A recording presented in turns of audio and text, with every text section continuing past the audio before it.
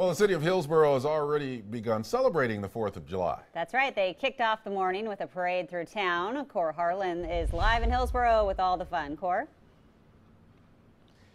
Boy, this has been a great parade this morning. It ended about uh, half an hour or so ago, but a lot of people, hundreds and thousands of people into downtown Hillsboro today for a parade that has been part of the 4th of July here in downtown Hillsboro for a long time. Great day for a parade and a great day to celebrate America.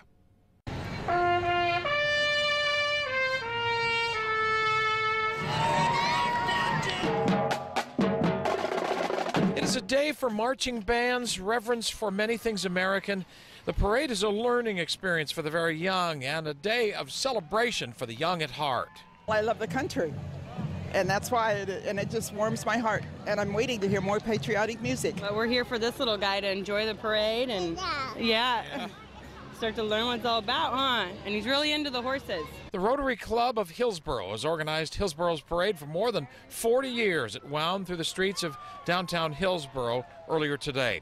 It's a reminder that despite differences among us as a nation, it's events like this that unite us. There's a lot, it seems, these days Americans do not agree on, but at least for the day today, everybody agrees that they love a parade. They do love a parade that makes everybody feel good, kids, young and old alike. And again, uh, it a great celebration here in downtown Hillsboro. Also, uh, Jenny and Ken, you mentioned the Hillsboro hops down uh, wherever they're playing tonight. I think you said uh, Salem. Salem. Salem, right? Salem. Salem. Fireworks there, fireworks, yeah, fireworks everywhere you look out here in Washington County tonight uh, for the 4th of July. You don't have to go far to find a fireworks demonstration, I guarantee you that. Yeah, I'm, I'm impressed by how clean the streets look where you are, Kohr. They know how to clean up there in Hillsboro.